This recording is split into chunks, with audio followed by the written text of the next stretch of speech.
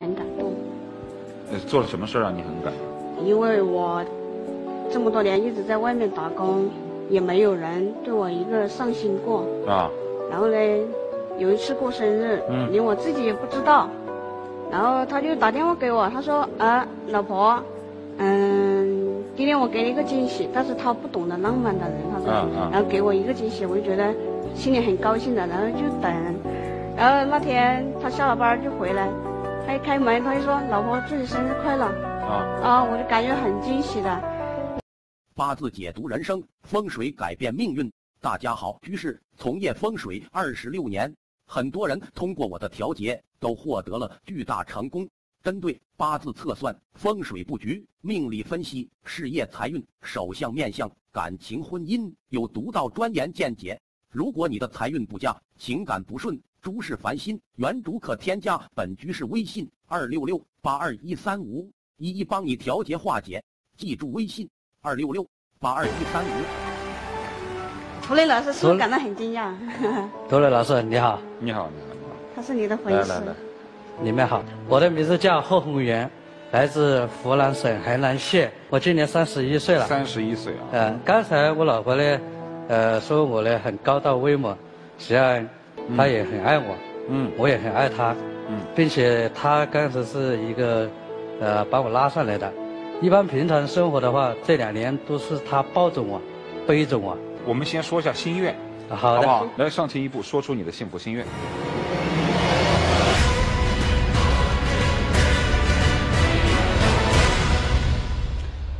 我的幸福心愿是能够得到一些创业资源，帮助老婆减轻生活压力。与负担，谢谢。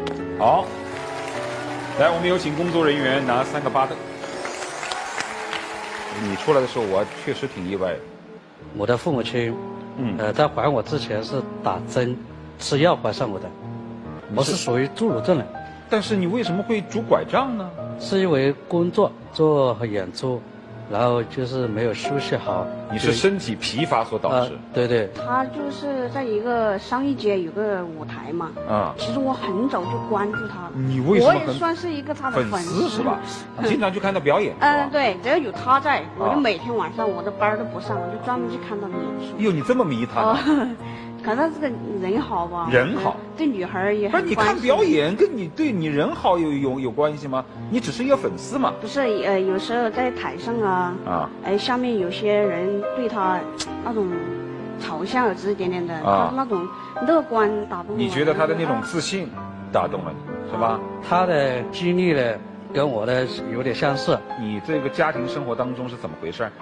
我是我养父养母捡来的，二十多年我也不知道我的亲生父母在哪里。